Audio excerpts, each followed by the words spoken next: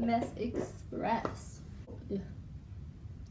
Well, um, yeah, I hope you guys enjoy this tutorial. There's someone outside.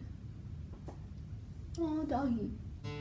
Hey guys, welcome back to my channel. So today I'm going to be doing a fun makeup tutorial for you. It's my first fall video, which I'm really, really excited for. So it is the look that I am wearing right now. This is kind of like a cranberry warm very fall appropriate eye. Um, I feel like when people think of fall makeup looks, they think of like a bold, uh, dark wine lip, which is really fun and really awesome too, and I'm probably going to be doing another tutorial with that. But I did want to post a um, tutorial that was more, a little different than the typical fall vampy lip. This look is perfect for those who really don't feel comfortable wearing a bold lip. I am wearing a nude lip right now, which is um, really pretty. It's an Anastasia lip, but we'll get into that later. So yeah, um, I know I look like a hot mess right now. My hair was not cooperating today, so I just was like, bun it is. So hopefully I don't look that much of a hot mess. So please stay tuned if you want to see that again this fall I first had to, of course, take a sip of my pumpkin spice coffee, and I already have my brows and foundation done, so first I'm going to start off by priming my eyes with a little MAC Pro Longwear Concealer. I like to use a concealer to prime my eyelids because it does not crease, and it gives us a nice clean base so it'll make our eyeshadows pop, and it also cancels out any discoloration or any veins that I may have.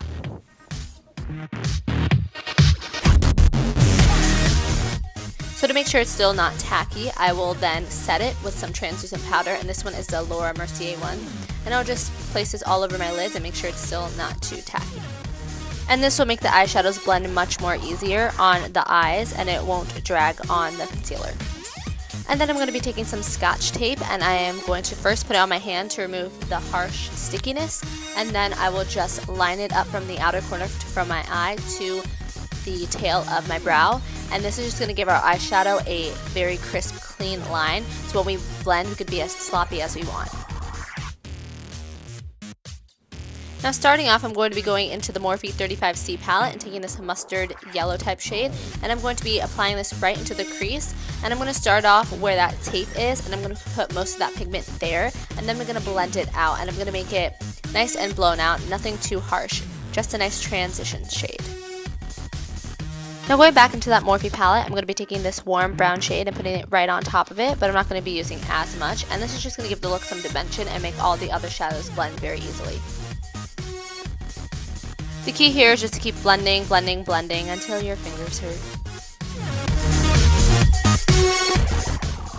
Now I'm going to be taking Makeup Geek's Cocoa Bear on a more flat blending brush, which is the MAC 217, and I'm going to put this directly into the crease much lower than those other two shades. This is just going to define the crease, and I'm going to be focusing that on the outer corner where I have that tape and putting most of the pigment there. And I am kind of being sloppy with this on the outer tape area because it doesn't really matter if you go too harsh on that area because once you remove it, it'll be okay. Then I'll go back with that Sigma E40 brush and buff it all out because once again, that is the key. You want to make sure those shades are blended together very well. No harsh lines. And I'm going to be taking this burgundy shade by Makeup Geek. It is called Bitten, and I'm going to be putting this on the outer corner and then blending it through. I want to put all that pigment mostly on the outer corner. And it does kind of look sloppy right now, but just remember, once we remove that tape, it's going to be very, very clean. So you can be as sloppy as you want. This shade is going to make sure that the lid shade and the crease meet, so it's going to look very blended, very blown out, and it's all going to come together once we're all done. Now going back into that Morphe palette, I'm going to be taking this even more burgundy shade. It's much deeper than Bitten, and I'm going to really focus this on the outer portion of the eye. I don't want to bring it in too much because I don't want to look like I got punched in the face. And then I'll just keep going back and forth with it because I really want to build up that pigment. And then I'll go over that with Cocoa Bear once again, just so it all blends very well and it's not too harsh of a pinkish burgundy shade.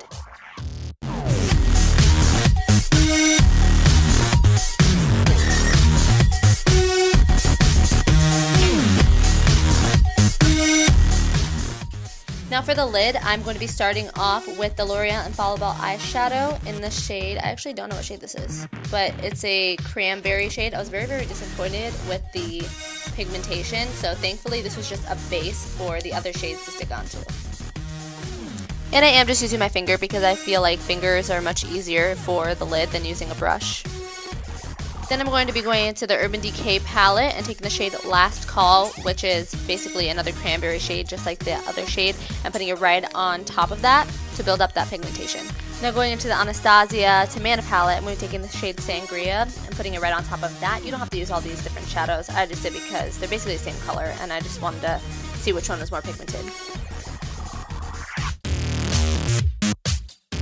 And then I'll just go back with that MAC 217 and just to blend the edges out. Now using that same palette, I'm just going to be highlighting my brow bone using the shade Blush.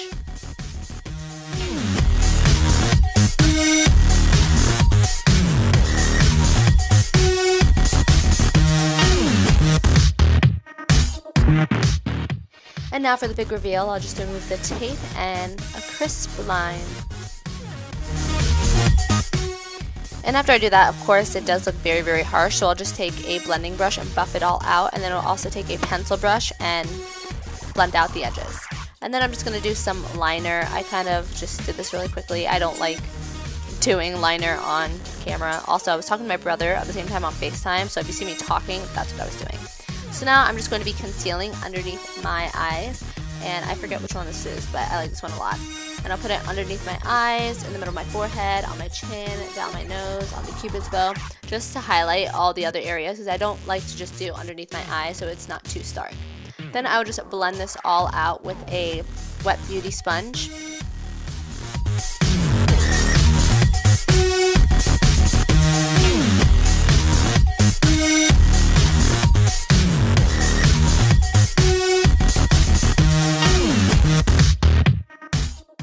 Going into the Kat Von D Shade and Light Contour Palette, I'm just going to be taking the shade Lyric and setting my under eyes just so they don't crease and also to highlight them a little bit more.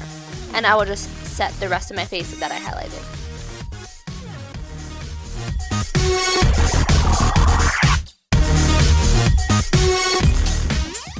And then during the fall, I like to go for more of a matte look opposed to a luminous look. So I will just set my face using the Laura Mercier translucent powder.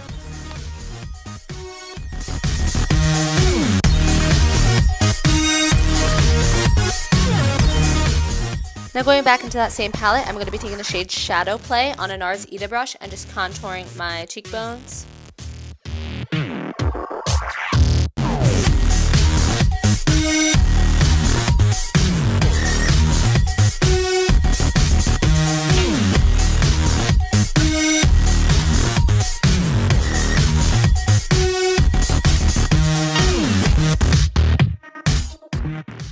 And then I would just take a more fluffy round brush to contour my forehead because I don't like using that brush for my forehead. And then I'll also use that brush to blend out my contour just so there's no harsh lines.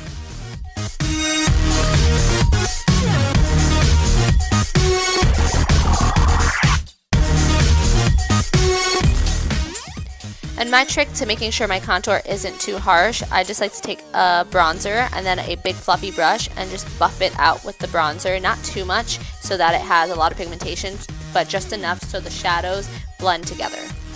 Or the shades, I should say. For the lower lash line, I'm just going to be taking Cocoa Bear and tight lining that underneath my eyeballs.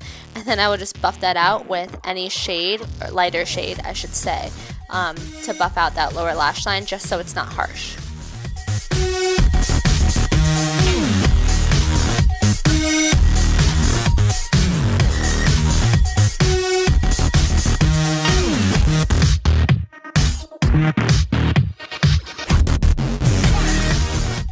And then I will go in with Bitten and do the same exact thing. I will lay that down and then I will take another lighter shade that I had already used in my crease and I will just buff it out just so it's not so harsh and just so there's no harsh lines.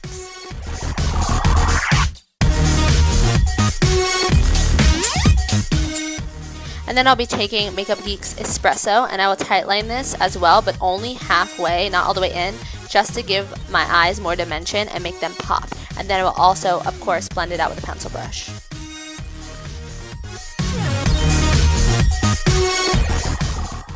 Now going into the Morphe 9B blush palette, I'll be taking that middle shade right there and applying that to my cheeks.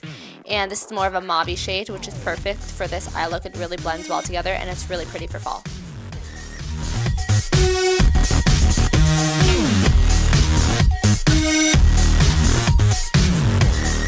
Then I will be mixing that with this more plum type shade just to make it a little bit more warmer and a little bit more fall appropriate.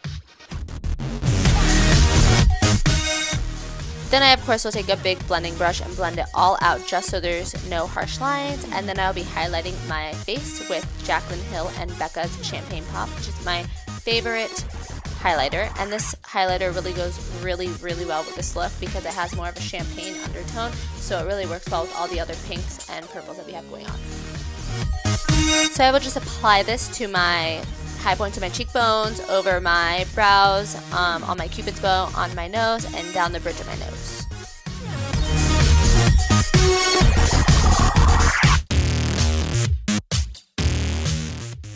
Then I will just apply a little bit of Prosecco Pop just to the high points of my cheekbones.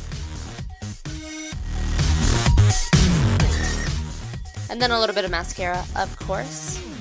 And here's when you could apply false lashes, but I'm not too keen on false lashes. I really wish I liked them, but I hate them. They hurt my eyes.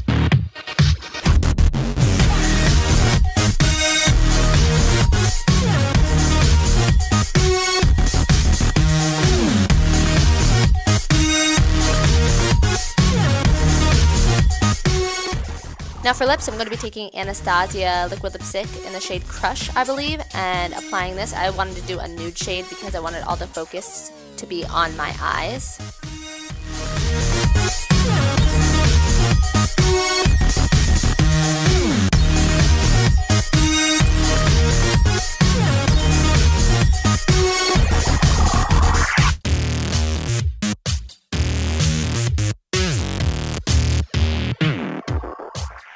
And then I'll just set my face with a little bit of MAC Fix Plus just so all the powders and the liquids meld together. And then my eyes are a little still too harsh, so I just got a pencil brush and I just buffed that. Alright, so that is it for today's makeup tutorial. I hope you guys enjoyed. Um, I really like this look. It's fun. It's a little bit different for fall, which I really like. Um, if you guys enjoyed, please give this video a thumbs up and please do not forget to subscribe because I will be posting a lot of fun fall videos. So yeah, see you guys in my next video. Bye. This is why I don't curl my hair. I tried to curl my hair for the video, but it wasn't cooperating. like really like ungirly. Look at this outfit.